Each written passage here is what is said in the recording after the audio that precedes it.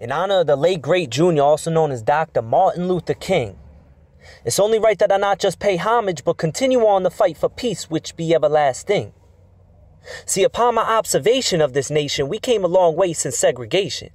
So, in that case, yes, we have improved.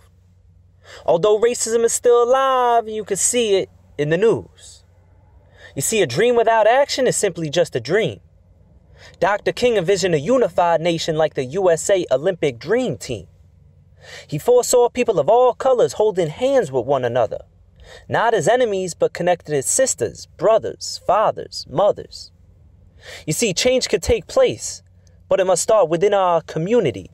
If we could stay calm and build unity, there's no unity without you and me. We're living in a time of civil rights movement eulogy. So take a stand or take a seat.